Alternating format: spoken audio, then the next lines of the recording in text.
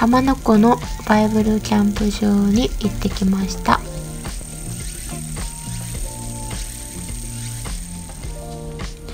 1週間ぐらいだったかな。ピアノで賛美したりほとんど休んで寝てたかな。これがなんか海の中に鳥居があるちょっと有名なところらしいです。最後にね寄ってくれたからちょっとだけ取ってきました。その後浜松に行って電車で名古屋に向かいました。この後神戸まで。